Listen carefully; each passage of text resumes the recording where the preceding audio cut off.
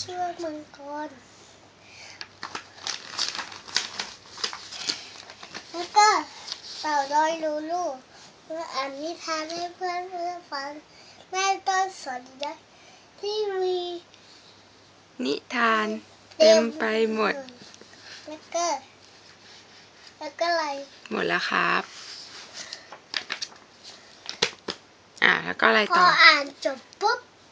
แล้วก็อะไรอีกแล้วก็อะไรคิดดิซิงซิงซิงเอ้ย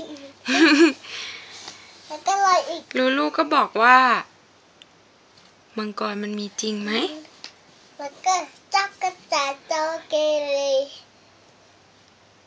จักรจันทร์โตเลก็บอกว่ามีอยู่จริงไหมไม่หลุด